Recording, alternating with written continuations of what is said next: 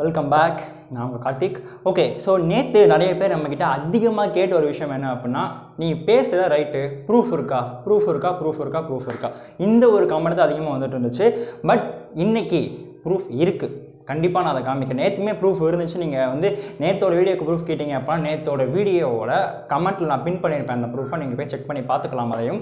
And இன்றைக்கும் அந்த சில விஷயங்களுக்கு ஃபுல் அண்ட் ஃபுல்லி அந்த ஒரு விஷயம் என்னதான்ப்பா நடந்துச்சாங்க அப்படிங்கிறத பார்க்காம ஸோ இது வந்து ஒரு நாலு சேனலுக்கு ஏற்படுற சண்டையாக மட்டும் பார்க்காம இன்னும் சில பேர் வந்து இருப்பாங்க. வந்து என்ன கேட்பாங்க அப்படின்னா அவங்கக்குள்ளே சண்டை போட்டு அடிச்சுட்டாங்கன்னா அதை வச்சு நீ என்ன பணம் சம்பாதிக்க பார்க்குறியா? அப்படின்னு கேட்பாங்க. ஸோ எல்லாருக்கும் சேர்த்து தான் சொல்கிறேன் இது வந்து ஒரு தனிப்பட்ட நாலு சேனலோட சண்டை கடை கிடையாது. அப்படி அதை பற்றி நம்ம யாரும் இங்கே பேசலை. பட் இதுக்கெல்லாம் தொடக்கப்புள்ளி அதை சொன்னால் தான் உங்களுக்கு புரியும். ஸோ அதனால் அதை பற்றி பேசி ஆக வேண்டிய கட்டாயமே தவிர மிச்சப்படி அதை பற்றி பேசணுங்கிற எண்ணமோ நோக்கமோ யாருக்குமே கிடையாது. அண்ட் யாரை பற்றியும் தப்பாக யாரை பற்றியும் தப்பாக போர்ட்ரேட் பண்ணணும் அப்படிங்கிற அவசியமும் வந்து மிஸ் யூடியூபர்ஸ்க்கு கிடையாது. அப்படி தானே தனிப்பட்ட சில விஷயங்களுக்காக தப்பாக போர்ட்ரேட் பண்ணாங்கன்னா அது வேற. பட் அவங்க செஞ்சதை அங்கே என்ன நடந்துச்சு இதுக்கு யார் காரணம் அப்படிங்கிற விஷயத்தை வந்து நம்ம எக்ஸ்போஸ் பண்ண போகிறோம் வீடியோக்குள்ளே போகிறதுக்கு முன்னாடி ஸோ மதன் ஓபி அவருடைய தற்போதைய நிலைமை என்ன அப்படின்னு கேட்டிங்கன்னா வந்து அவரை வந்து அரெஸ்ட் பண்ணிட்டாங்க. ஆக்சுவலாக அவர் வந்து அரெஸ்ட் ஆகிட்டார் நேற்று நேற்று நான் வீடியோ போட்ட ஒரு வீடியோ போடுற அப்லோட் பண்ணுறதுக்கு முன்னாடி அரெஸ்ட் ஆகிட்டார் அரெஸ்ட் ஆனதுக்கு அப்புறம் அவர் வந்து தர்மபுரியில் அரெஸ்ட் பண்ணியிருக்காங்க. அங்கேருந்து வந்து சென்னை கொண்டு வந்துட்டாங்க. சென்னை கொண்டு வந்தோன்னா அவர்கிட்ட நிறைய இன்வெஸ்டிகேஷன் நடந்துச்சு. விடிய விடிய இன்வெஸ்டிகேஷன்லாம் பண்ணாங்க. பண்ணுறதுக்கப்புறம் இப்போ வந்து நிறையா விஷயங்கள் வெளியே வந்திருக்கு. என்ன அப்படின்னா சின்ன சின்னதாக ஷார்ட் அண்ட் ஸ்வீட்டாக முடிச்சிருவோம். அவரோட பாஸ்போர்ட் பேங்க் அக்கௌண்ட் இதுக்கப்புறம் எல்லாத்தையுமே வந்து முடக்கிட்டாங்க. இதையும் தாண்டி வந்து மிச்ச சில விஷயங்களும் எங்கேயுமே அவர் போக முடியாதபடி பண்ணிட்டாங்க. அதோட இவர் இன்கம் டேக்ஸ் அதாவது வந்து வருமான வரி சுத்தமாக கட்டவே இல்லை அப்படின்னு சொல்லிட்டாங்க.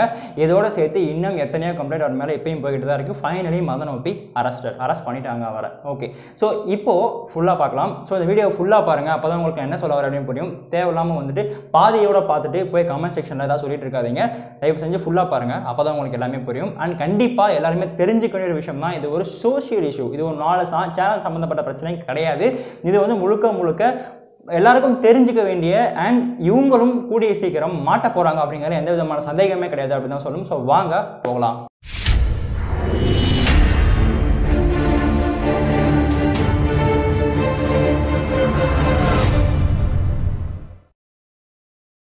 இந்த கதையில் நீங்கள் தெரிஞ்சுக்க வேண்டியது அப்படின்னு பார்த்தீங்கன்னா நாலே நாலு கேரக்டர்ஸ் தான். அதாவது பிரியாணி மேன் நம்மளு அதுக்கடுத்து வந்து விஜய் கோயம்புத்தூர். அதுக்கடுத்து வந்து தமிழ் மீம்ஸ் அப்படிங்கிற ஒரு குறிப்பிட்ட மீம்ஸ் பேஜ் வச்சு இன்ஸ்டாகிராம் நடத்திக்கிட்டு இருக்க ஜெய்சூர்யா அப்படிங்கிற ஒரு குறிப்பிட்ட பர்சன் அப்புறம் வந்து ஜேசன் சாம்பல். இவங்க நாலு பேர் நீங்கள் தெரிஞ்சுக்கிட்டா போதும்.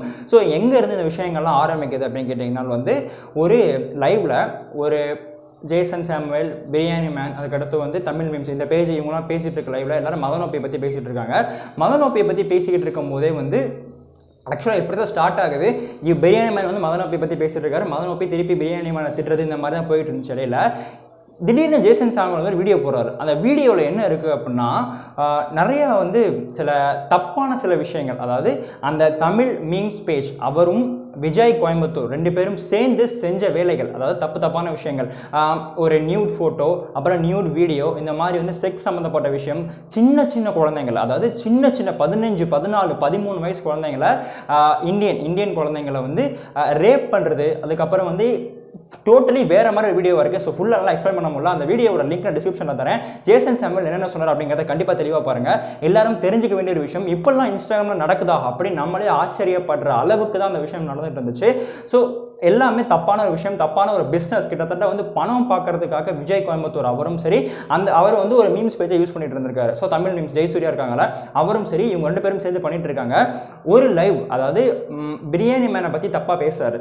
யார்? ஜேசன் சாம்பல் ஜேசன் சாம்பல் தப்பாக பேசினதுக்கப்புறம் வந்து இவங்க மூணு பேரும் சேர்ந்துக்கிட்டு ஆக்சுவலாக தப்பு யார் மேலே இருக்குது அப்படின்னா விஜய் கம்பத்தூர் மேலேயும் அந்த மீம்ஸ் பேஜ் மேலேயும் தான் இருக்குது பட் அவங்கள பற்றி கேள்விகள் எழுப்பாமல் இவங்க மூணு பேரும் ஜேசன் சாமுவல் டார்கெட் பண்ணுறாங்க எப்படியாவது வந்து இந்த விஷயத்தை வேறு மாதிரி எடுத்துகிட்டு போயிடணும் அப்படிங்கிறதுக்காக வந்து மூணு பேரும் ஜேசன் சாமுவல் டார்கெட் பண்ணுறாங்க அப்படியே டார்கெட் பண்ணி பல கேள்விகள் கேட்கப்படுது. நிறைய கேள்வி வந்து ஜேசன் சாமுவல்கிட்ட கேட்குறாங்க. எப்படி நீங்கள் வந்து இதுக்கு முன்னாடியே எனக்கு விஜய் கோயம்புத்தூரை தெரியவே தெரியாது. இதுக்கு முன்னாடி எனக்கு தெரியவே தெரியாதுப்பா. இந்த ஆள் யார்? மதனோப்பை மேட்டரில் தான் வந்து விஜய் கோயம்புத்தூரே எனக்கு தெரியும். இதுக்கு முன்னாடி இந்த பர்சன் எனக்கு தெரியாது. நான் பேசுனதே கிடையாது. எனக்கும் இவருக்கும் எந்த எந்த விதமான லிங்க்குமே கிடையாது. உங்களால் முடிஞ்சால் உங்களுக்கு வந்து தெம்பு இருந்துச்சு அப்படின்னா நீங்கள் எதை ப்ரூஃப் பண்ணி காமிங்க அப்படின்னு சொல்கிறாரு பிரியாணி மேன் ஸோ இதை கேட்ட உடனே அங்கே அந்த இடத்துல அமைதியாக தான் இருந்தாங்க எல்லாரும். ஸோ அது உண்மை. இதுக்கு முன்னாடி விஜய் கோயம்புத்தூரை தெரியும் அப்படின்னு சொல்லி அவர் சொல்லியிருந்தாலும் அந்த இடத்துல தான் அமைதியாக தான் இருக்காங்க. பட் இப்போ தான் வந்து கதையில் ஒரு ட்விஸ்ட் வருது. என்ன அப்படின்னா இவர் வந்து இதற்கு முன்னாடியே வந்து தெரியும். பிரியாணி மேனுக்கு வந்து இதுக்கு முன்னாடியே தான் விஜய் கோயம்புத்தூர் கிட்ட பேசியிருக்கோம் அப்படிங்கிறது முன்னாடியே தெரியும். தெரிஞ்சதுக்கு அப்புறம் வந்து ஒரு மிகப்பெரிய ட்ராமா வந்து கிரியேட் பண்றாரு. எப்படியாவது வந்து இதுல இருந்து தப்பிக்கணுமே அப்படிங்கிறதுக்காக வந்து அடுத்த நாள் காலையில அவரோட சேனல் ஹேக் ஆயிடுச்சு அப்படின்னு சொல்லிட்டு. ஸோ மதனோப்பியை சேர்ந்த சில மெம்பர்ஸோ இல்லை மதனோப்பியை வந்து அவரோட சேனலை ஹேக் பண்ணிட்டாங்க அப்படின்னு சொல்லிட்டு டிபி டிபியை ரிமூவ் பண்ணிவிட்டு எல்லா வீடியோலையும் ப்ரைவேட்டில் போட்டு எல்லாமே என் சேனல் ஹேக் ஆயிடுச்சுப்பா அப்படின்னு சொல்லி சொல்கிறாரு இன்ஸ்டாகிராம் பேஜையும் என்னத்தையோ பண்ணிவிட்டு இன்ஸ்டாகிராம் பேஜையும் ஹேக் பண்ணிட்டாங்க அப்படின்னு சொல்லி சொல்கிறாரு இதை கேட்ட உடனே ஒரு ஒரு எல்லாருக்குமே வந்து ஒரு குழப்பம் நிலவுது. இந்த இடத்துல வந்து அப்போ மதநோப்பி தேவையில்லாமல் உள்ளே எழுத்துட்டு வர அந்த விஷயத்துக்குள்ள என்னடா நடக்குதுங்க அப்படின்னு பார்க்குறப்ப தான் தெரியுது. அவர் அந்த வீடியோவில் எந்தெந்த வீடியோக்களில் விஜய் கோயம்புத்தூரையும் அந்த தமிழ் மீம்ஸ் பேஜையும் வந்து போட்டிருக்காரோ அது எல்லாத்தையுமே வந்து அழிக்கிறதுக்காக தான் அப்படி பண்ணியிருக்காரு அப்படிங்கிற விஷயத்தை வந்து தெளிவாக சொல்லியிருந்தாங்க. ஸோ இந்த விஷயங்கள்லாம் வந்து எப்படி இது இதுக்கு ப்ரூஃப் இருக்கா அவங்ககிட்ட அப்படின்னு கேட்டால் இந்த விஷயங்கள்லாம் ஆக்சுவலாக எங்கேருந்து எடுத்துச்சு இந்த விஷயத்தை வந்து டோட்டலாக எக்ஸ்போஸ் பண்ணது யார் அப்படின்னு கேட்டிங்கன்னா வந்து ஜேகே தமிழ் அப்படின்னு சொல்கிறப்ப ஒரு குறிப்பிட்ட சேனல் தான். ஸோ அவர் வந்து இருபத்தாறு நிமிஷத்துக்கு பயங்கரமாக வீடியோ போட்டிருக்காரு. அதை போய் பார்த்தீங்க அப்படின்னா உங்களுக்கு எல்லா விஷயமே தெளிவாக தெரிஞ்சிடும் ஸோ அவர் தான் வந்து எக்ஸ்போஸ் பண்ணியிருந்தாரு. இதுக்கு முன்னாடி பிஎஸ்பிபி இஷ்யூ இந்த இஷ்யூவை பற்றி பிரியாணி மேன் பேசின அந்த ஒரு டைமில் என்ன பண்ணியிருக்காரு அப்படின்னா அந்த வீடியோவில் மென்ஷன் பண்ணியிருக்காரு தமிழ் மீன்ஸ் பேஜையும் மென்ஷன் பண்ணியிருக்காரு அதுக்கப்புறம் விஜய் தம்பத்தையும் மென்ஷன் பண்ணியிருக்காரு அப்படி மென்ஷன் பண்ண டைமை அந்த ஹேக் பண்ணுறேன் அப்படிங்கிற பேரில் வீடியோ எல்லாத்தையும் ப்ரைவேட்டில் போட்டுட்டு எல்லா வீடியோலையும் எந்தெந்த இடத்துல தமிழ் மீம்ஸையோ இல்லை விஜய் தம்பத்தையோ மென்ஷன் பண்ணியிருக்காரோ அது மொத்தத்தையும் கட் பண்ணி கட் பண்ணி தூக்குறாரு. ஸோ அதுக்கு ஒரு ஆதாரம் தான் இது. இந்த வீடியோ பார்த்துட்டு வாங்களேன்.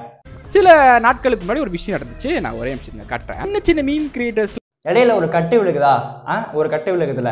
அந்த கட்டில் ஆக்சுவலாக என்ன இருந்துச்சு அப்படிங்கிறது தான் ஜேகே தமிழ் அப்படிங்கிற ஒரு குறிப்பிட்ட ப்ரோ வந்து எக்ஸ்போஸ் பண்ணியிருந்தாங்க. ஸோ என்ன இருந்துச்சு அப்படின்னு அதையும் நீங்களே பார்த்துட்டு வந்துருங்க. ஓகே இது என்னன்னா இது நம்ம நண்பர் விஜய் கோயம்புத்தூரோட நண்பர் நண்பர் விஜய் கோயம்புத்தூர். சொல்றாரா? மாட்டிக்கிட்டாரா? பக்காவாக மாட்டிக்கிட்டாரு. இப்போ அடுத்த விஷயம் இன்னொரு ப்ரூஃபும் இருக்கு. அதையும் பாருங்க. ஸோ சோலோ வர்சஸ் கார்பரேட் அப்படிங்கிற ஒரு பெரிய புரட்சி யூடியூப்ல வந்து ஒரு காலத்தில் போயிட்டு இருந்துச்சு அப்படி தானே கொஞ்சம் நாளைக்கு முன்னாடி. அர்ச்சனா அவங்களோட பேசின ஒரு குறிப்பிட்ட லைவ் ஸ்ட்ரீம் இன்ஸ்டாகிராமோட ஐஜிடிவி லைவ்ல வந்து அவர் பேசின விஷயம் இது. ஸோ இதையும் பார்த்துட்டு வாங்க. இப்போ ஒரே இ- இந்த லைவ் விஜய் கோயம்புத்தூர் பார்த்துட்டு இருக்கீங்கன்னா அப்பா அங்க ரிப்போர்ட் பண்ணுப்பா கொஞ்சம் ப்ளீஸ் பார்த்தீங்களா இவர் என்ன நினச்சிருக்காரு அப்படின்னா சேனலை ஹேக் பண்ணிட்டோம் அப்படின்னு சொல்லிட்டு மொத்த வீடியோவையும் டிலீட் பண்ணிட்டு ஆக்சுவலாக ப்ரைவேட்டில் போட்டுட்டு எல்லா வீடியோவுமே அப்படியே வந்து கட் பண்ணி கட் பண்ணி கட் பண்ணி கட் பண்ணி எந்தெந்த இடத்துலலாம் வந்து இவரை மென்ஷன் பண்ணக்கூடாத ஆளுங்களை மென்ஷன் பண்ணியிருந்தாரோ அதெல்லாம் கட் பண்ணி தூக்கிட்டார். தூக்கிட்டதுக்கப்புறம் மறுபடியும் அடுத்த நாள் ஸோ ஒரு விஷயத்தை நல்லா புரிஞ்சுக்கோங்க. ஹேக் பண்ணுறது அப்படின்னா ஒருத்தரோட அதை வச்சு ஃபினான்ஷியலாக நம்ம நம்ம நம்மளை தான் சம்பாரிச்சிக்க முடியுமா? அப்படிங்கிறதுக்காக ஒரு குறிப்பிட்ட சேனலை ஹேக் பண்ணுவாங்க.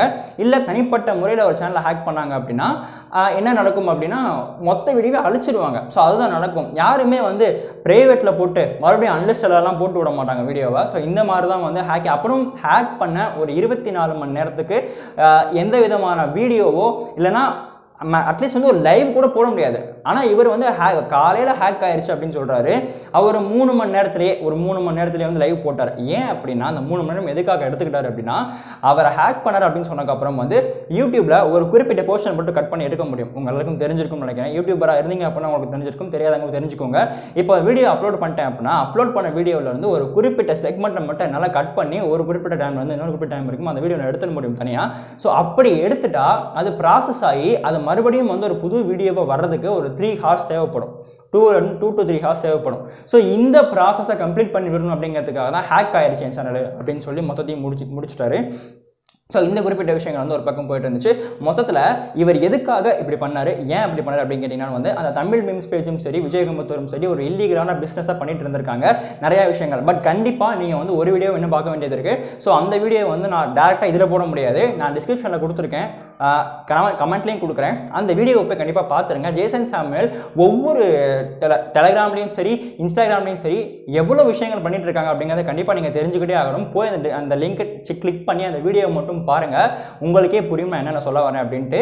ஒவ்வொரு ரீடாக்டேட்டே போயிட்டு இருக்கு. டெலகிராம் வந்து இன்ஸ்டாகிராம் இன்ஸ்டாகிராம் வந்து டெலகிராம் அதுக்கடுத்து வந்து இதுக்கு மெம்பர்ஷிப் வேறு. ஐநூற்றி ஒம்பது ரூபா மெம்பர்ஷிப் ப்ரைம் மெம்பர்ஷிப்லாம் போட்டு பயங்கரமாக விற்றுக்கிட்டு இருக்காங்க. விற்கக்கூடாத விஷயங்களை. ஸோ இதை நீங்கள் கண்டிப்பாக தெரிஞ்சுக்கணும் நல்லா. அண்ட் இப்போது மேட்ரு மேட்ருக்கு வருவோம். ஸோ பிரியாணி மேன் எதுக்காக இவ்வளோ பண்ணுறாரு அப்படின்னு கேட்டிங்கனாலும் வந்து விஜய் கோயம்புத்தூரும் சரி அந்த தமிழ் மீம்ஸ் பேர் ஜெயசூர்யாவும் சரி இவங்க ரெண்டு பேர் கூடயும் தான் இவர் இருக்கார் ஆக்சுவலாக இப்போ. ஏதாவது ஒரு இடத்துல இவர் பண்ணுற தப்பை நம்ம நம்ம தெரிஞ்சுக்கிட்டு நம்ம அமைதியாக தான் இருந்தோம் அப்படின்னு சொல்லி மக்களுக்கு தெரிஞ்சு போச்சு அப்படின்னா பயங்கரமான குழப்பத்தை கொண்டு வந்து நிற்கும். நாலு பேர் அது நமக்கே பெரிய பிரச்சனை வரும். நம்ம அரெஸ்ட் ஆகி உள்ளே போகிறதுக்கு கூட வாய்ப்புகள் அதிகமாக இருக்குன்னு தெரிஞ்சுக்கிட்ட பிரியாணி மேன் என்ன பண்ணிட்டாரு? இவருக்கு தெரியவே தெரியாது அப்படின்னு சொல்லிட்டாரு. பட் இப்போ வந்து கையும் கலவமாக மாட்டிக்கிட்டாரு. எல்லா விஷயத்தையும் எக்ஸ்போஸ் பண்ணிட்டாரு. ஜேகே தமிழ் அப்படிங்கிற யூடியூப் சேனல் வச்சுருக்க ஒருத்தர். பட் இந்த இடத்துல வந்து நிறைய விஷயங்கள் தப்பாக நடந்திருக்கு. இது வந்து ஒரு இல்லீகல் ஆக்டிவிட்டி அப்படிங்கிறத நம்ம தெரிஞ்சுக்கிட்டே ஆகணும். ஸோ பான் வீடியோஸ் பார்க்குறது வந்து தப்பு இல்லை அப்படின்னு சொல்கிறாங்க பட் சின்ன குழந்தைங்க செக்ஸியாவோ இல்லை அப்படின்னா அவங்க சம்மந்தப்பட்ட விஷயங்களையோ வந்து நம்ம எடுத்தோம் அதை ஆக்சஸ் பண்ணோம் அப்படின்னாலே வந்து கண்டிப்பாக அது ஒரு குற்றமாக இப்போதைக்கு அறிவிக்கப்பட்டிருக்கு. இதுக்கு முன்னாடியே பல விஷயங்கள் போயிட்டு இருந்துச்சு. இப்போது வே வேறு லெவலில் அதுக்கு தண்டனையும் இருக்குது ஸோ க இந்த ஒரு விஷயம் வந்து இப்போ மதநோப்பிக்கு அடுத்து இவங்க தான் உள்ளக்க போக போகிறாங்க அப்படிங்கிற மாதிரியும் விஷயங்கள் போயிட்டு இருக்கு. ஸோ இந்த எல்லா விஷயத்தையும் கண்டிப்பாக உங்களுக்கு புரி புரிஞ்சிருக்கும்னு நான் நினைக்கிறேன். அண்ட் இந்த குறிப்பிட்ட விஷயங்கள்லேருந்து வெளியே வரதுக்காக தான் ஸோ நம்ம மாட்டிட்டோம் அப்படின்னா விஜய் கோயம்புத்தூர் நம்ம பக்கத்தில் தான் இருந்தார் இந்த பக்கம் தமிழ் நிமிஷம் இந்த பக்கத்தில் இருந்தார் ரெண்டு பேர் கூட தான் நான் இருந்தேன் அப்படின்னு தெரிஞ்சால் போயிருமே அப்படின்னு சொல்லிட்டு தான் இவர் மறைக்கிறதுக்காக எத்தனை விஷயங்களை பண்ணிட்டு இருக்காரு. இவங்க மூணு பேரும் சேர்ந்து ஜேசன் சாமுவேலை டார்கெட் பண்ணியிருக்காங்க. மதநோப்பி பண்ணது தப்பு அப்படின்னா மதநோப்பி பண்ணது தப்பு தான். அவர் சில விஷயங்களை மோசமாக மோசடியும் செஞ்சுருக்காரு. சில தெரியக்கூடாத சில சின்ன பசங்களுக்கு வந்து கெட்ட வார்த்தைகளையும் தெரிய வச்சிருக்காரு அப்படிங்கிற கேஸில் அதை அரெஸ்ட் பண்ணியிருக்காங்க. பட் இது அதை விட ஒரு வேறு லெவல் கேஸாக இருக்கும் அப்படின்னு சொல்லி எதிர்பார்க்கப்பட்டு இருக்கு. சப்போஸ் வந்து இது சிபிஐ சிபிஐன்னு சொல்கிறேன் சைபர் செல்கிட்ட போச்சு அப்படின்னா இது ஒரு வேறு லெவலில் இருக்கும். கண்டிப்பாக அடுத்த லிஸ்ட்டு ரெடி தான். ஸோ இந்த விஷயங்கள் எல்லாமே உங்களுக்கு தெளிவாக புரிஞ்சிருக்கும் அப்படின்னு நினைக்கிறேன். அண்ட் நான் எப்போ கிளம்புறேன்? பட் கண்டிப்பாக திருப்பி வருவேன். நான் திரும்பி வர வரைக்கும் until is is bye from Karthik.